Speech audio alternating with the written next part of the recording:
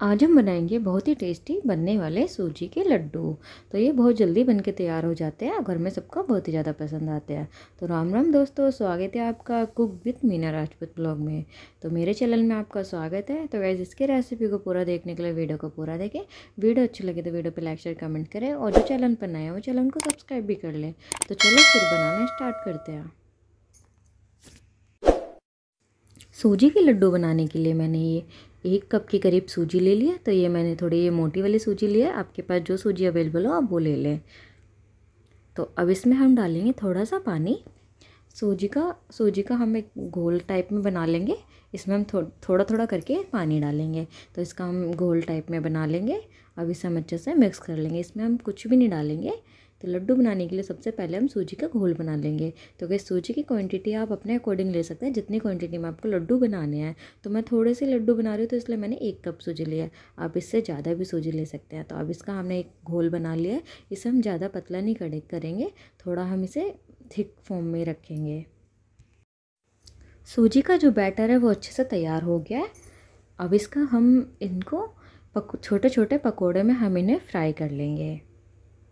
तो ऑयल भी हमारा अच्छे से गर्म हो गया है तो इनको हम छोटे छोटे पकौड़े टाइप में इन्हें फ्राई कर लेंगे। शेप इसमें मैटर नहीं करती, आप किसी भी शेप में इन्हें फ्राई कर सकते हैं। तो गाइज़ ये आप देसी घी में भी बना सकते हैं, आपके पास ऑयल है तो उसमें ही बना सकते हैं। तो मैंने ऑयल पहले ही गर्म कर लेता तो ऑयल को हमें एकदम तेज़ गर्म रखना है। इस ऑयल गैस को हमें एकदम तेज़ करना है गैस को हमें मीडियम नहीं करना। तो एक बार में जितने आ जाएँगे, हम उतने ये डाल के इस बैटर के जो पकौड़े हैं, वो बनाकर तैयार कर लेंगे।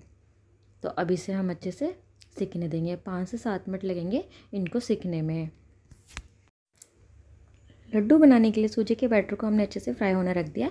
ये थोड़े से मैंने ड्राई फ्रूट ले लिया थोड़े से बादाम ले लिया थोड़े से ये मैंने काजू ले लिया और थोड़ा सा क्रश नारियल ले लिया और दो पिस्ता ले लिया है। तो कई ड्राई फ्रूट अपन अपने अकॉर्डिंग कोई से भी ले सकते हैं। तो अब इन्हें हम जो हमने बैटर के जो पकौड़े बनाए थे, उन्हें हम अच्छे से अलट पलट कर लेंगे। तो इन्हें हम हल्का हल्का सा गोल्डन ब्राउन कलर आने तक इन्हें भून लेंगे, यानी कि फ्राई कर लेंगे।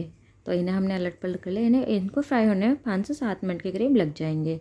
तो ये हमारे फ़र्स्ट बैच अच्छे से सिक्के तैयार हो चुका है। ऐसे ही हम सारे फ्राई कर लेंगे। तो अब इन्हें कढ़ाई से बाहर निकाल लेंगे हम। तो वह सूजी के लड्डू बहुत ही ज़्यादा टेस्टी लगता है खाने में। एकदम चूरमा होता है, उसकी तरह बनकर तैयार होएँगे। तो एक बार मेरी इस रेसिपी से ये लड्डू घर पर ज़रूर बना कर देखें। तो अब इनको हम ठंडा करने के बाद इन्हें हम अच्छे से इनके पीसेस कर लेंगे। और एक मिक्सी मिक्सी ग्राइंडर लेंगे, हम उसमें ये पीस लेंगे। तो क्या इस मिक्सी ग्राइंडर में ये हमने पहले चीनी पीसी थी, क्योंकि लड्डू में हमें चीनी भी डालनी है। तो उसके लिए मैंने घर में चीनी पीस ली थी, मैंने बाहर से नीली पीसी हुई। तो दो मैंने इलायची डाल के इनको हमने अच्छे से बारीक पीस लिया है। तो लड्डू बनाने के लिए हमने ये सूजी को, जो सूजी के हमने पकौड़े बनाए थे, उनको हमने बारीक पीस लिया है। तो इसे हमें इतना ही दानेदार होने तक पीसना है। तो अब इसे हम एक प्लेट में निकाल लेंगे। अब हम इसमें कुछ ये डालें डालेंगे ड्राई फ्रूट तो थोड़ा सा मैंने क्रश नारियल ले लिया था और मैंने ड्राई फ्रूट लिए थे। तो गैस ड्राई फ्रूट आप अपने अकॉर्डिंग कोई से भी ले सकते हो। जो आपके पास हैं अवेलेबल वो ले सकते हो। तो ड्राई फ्रूट को मैंने बारीक बारीक चॉप कर लिया तो आप इन्हें मिक्सी में पीस के भी ले सकते हो। अब हम इसमें डालेंगे स्वाद के अनुसार, यानी मीठे के अकॉर्डिंग डालेंगे हम इसमें, पिसी हुई चीनी।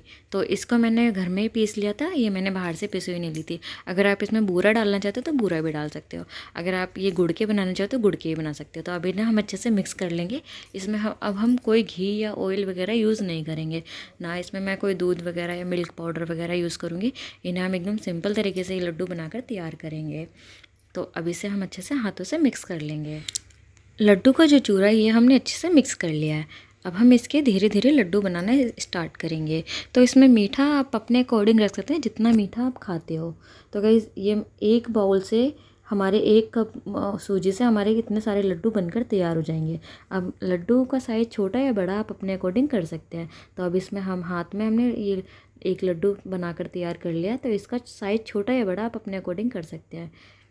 तो ये लीजिए हमारा पहला लड्डू अच्छे से बनकर तैयार। ऐसे ही हम सेम हम सारे लड्डू बनाकर तैयार कर लेंगे। तो कैसे बहुत जल्दी बन जाते हैं और घर में सबको बहुत ज़्यादा पसंद आते हैं। तो एक मेरी इस रेसिपी से सूजी के लड्डू घर पर ज़रूर बना कर देखें।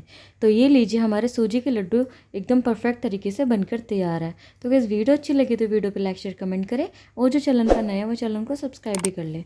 तो कैसे बायलाइकन को दबाना ना भूलें, जिससे मेरी आने वाले वीडियो की नोटिफिकेशन सबसे पहले आपके पास आए। तो कैसे मुझे इंस्टाग्राम पर भी फॉलो कर सकते हो। लिंक लिंक डिस्क्रिप्शन में आप मुझे वहाँ जाकर भी फॉलो कर सकते हो। तो गैस आज के लिए बाय मिलते हैं अगली वीडियो में. तब तक के लिए बाय